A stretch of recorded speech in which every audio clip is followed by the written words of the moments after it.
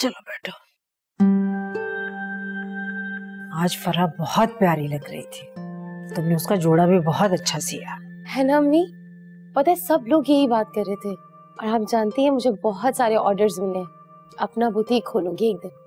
बेटा जब मसरूफ हो जाओगी तरक्की कर जाओगी तो फिर तुम्हारे लिए लड़का भी तलाश करना मेरे लिए मुश्किल हो जाएगा ना? लड़का भी तो वैसा ही चाहिए फिर। तो क्या शादी ना होने के डर से कोई लड़की कामयाब नहीं हो सकती?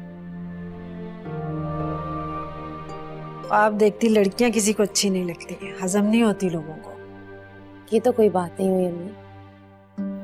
हर लड़की की अपनी ख्वाहिशात होती है। अब फरहा को देखे ना उसका शोहर इतना अच्छा है कि उसने शादी के बाद भी उसको जॉब करने की इजाज़त दी। बेटा यही इजाज़त तो चाहिए होती है और शादी के बाद शोहर की इजाज़त लेना पड़ती है। तो फिर आप मेरे लिए एक ऐसा रिश्ता ढूंढे ना जो मेरे ख्वाबों के बीच में ना आए। कल एक लड़के वाले तुम्हें देखने आ रहे हैं।